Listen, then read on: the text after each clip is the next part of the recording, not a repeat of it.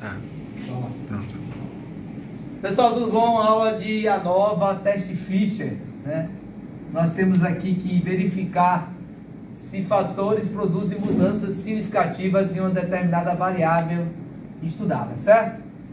Pressupostos, variáveis, as amostras aleatórias independentes, população tem que ser normal, tem que fazer alguns testes para verificar a normalidade e tem que ter a variâncias iguais, a homocedasticidade, certo?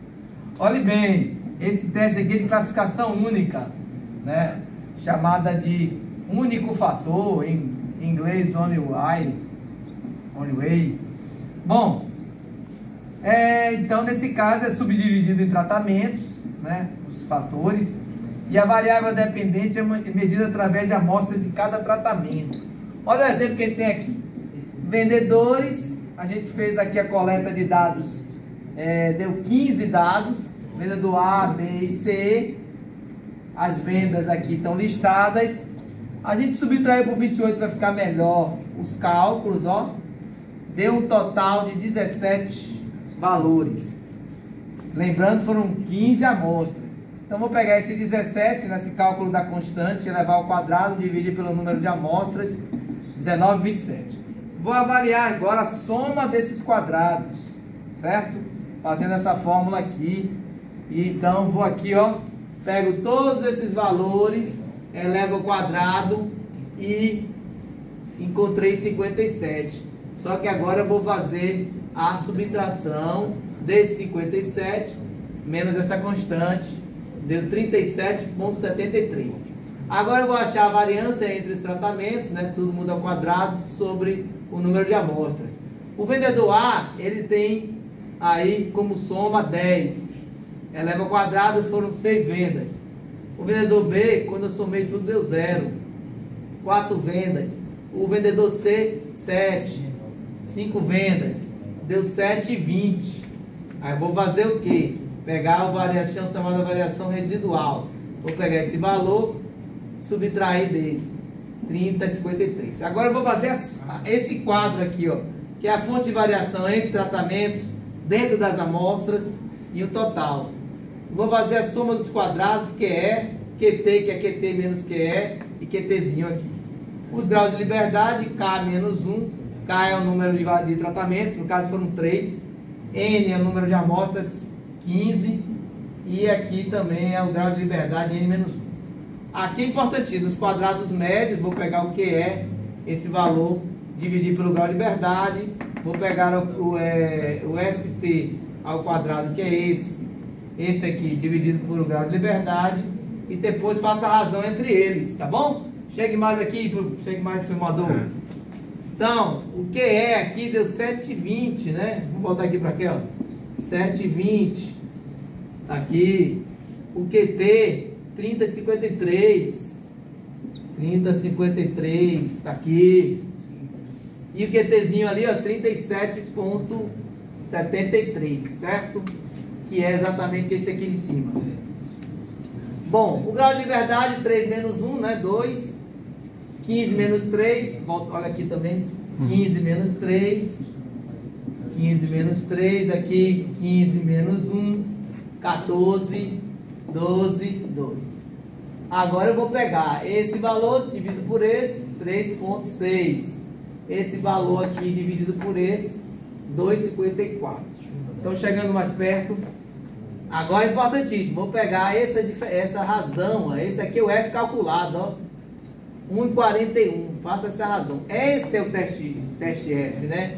O teste Fischer é aqui. Deu 1, eu faço essa, essa razão aqui entre os quadrados médios. Aí eu vou na tabela do, do, do teste F, ó. Essa aqui é a região de aceitação. E essa é a região de rejeição. Aqui é 5% dessa área de Fischer. Essa região de aceitação aqui, como é que eu sei esse valor aqui? Eu vou numa tabela, certo? E vou pegar quem? O meu F vai ser quem? o grau de liberdade, né, que é nk menos 1, são 3, 3 menos 1, 2, e n menos k. Foram 15 amostras, menos k, que foi 3, 12. Vou nessa tabela aí de Fischer, certo? E vou buscar esse valor, ó, deu 3,89. Lembrando que o F que a gente calculou aqui foi 1,41. Quem é? Como é que vai analisar? Ó, se F calculado for menor que o tabulado, tabelado que a gente achou agora, 3,86, eu posso dizer que no teste de hipótese que não há diferença entre as médias. Agora a gente compara, ó, F calculado 1,41, F tabelado 3,86. Claro que F calculado é menor que o F tabelado. Então, se o F calculado é menor que o tabelado, você vai, no caso desse, desse análise aqui, inferir, por isso que a estatística é inferencial, que não há diferença entre os vendedores. O vendedor A vendeu mais, né? mas você não quer saber disso. Quer saber se a média das vendas foi diferente. O vendedor A vendeu, é, aqui, ó, ele vendeu seis vezes, o B quatro e o C cinco vezes. Mas as vendas entre eles, em termos de vo o volume foi diferente, mas a média dos valores foi a mesma, tá bom? É isso aí, bons estudos. Tudo bom, pessoal? Vamos trabalhar aqui com aquele, aquela questão do quadro aqui, só com teste a nova. Fator único, não é isso? Então, a ideia aqui é verificar se a influência do vendedor sobre as vendas. Então, a gente vai testar a diferença das vendas em relação aos vendedores. Então, a gente tem amostras de três vendedores, né? nós vemos no quadro, e vamos usar a tabela dados vendedor. Então, a hipótese principal, né, a hipótese nula, é que as médias são iguais. E a hipótese alternativa é que existe uma pelo menos diferente. Então, para a gente verificar qual é dessas que é diferente, caso se confirme a hipótese alternativa, basta verificar aí, por exemplo, a média dessas vendas. Ou usar outros tipos de testes, como Tukey. O objetivo desse vídeo não é falar sobre os outros testes, apenas o teste de hipótese ANOVA. Então, a gente tem uma regra né, que aceitar a hipótese principal, né, a hipótese nula, se o valor P for maior que 5%.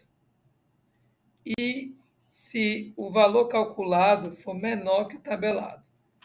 A gente viu lá na aula no quadro que se confirmou isso, que não havia né, diferença entre essas médias, pois o valor calculado era menor que o tabelado. Aqui está o código bem simples para a gente trabalhar os dados eu coloquei em forma de coluna.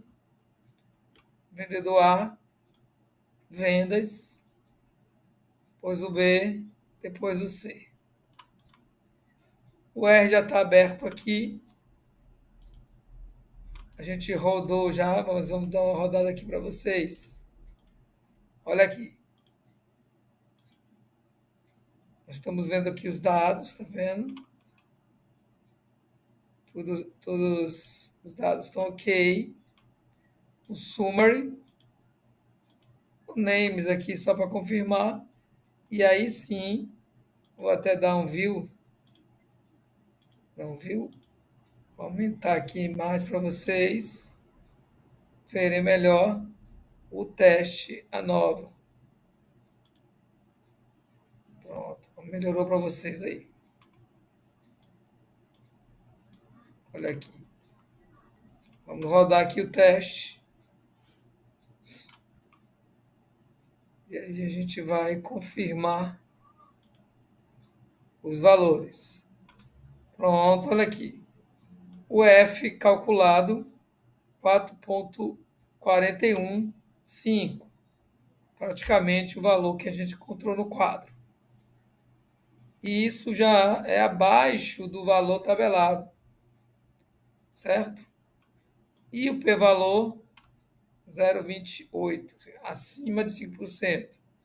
Então, não é possível afirmar que há diferenças entre os vendedores.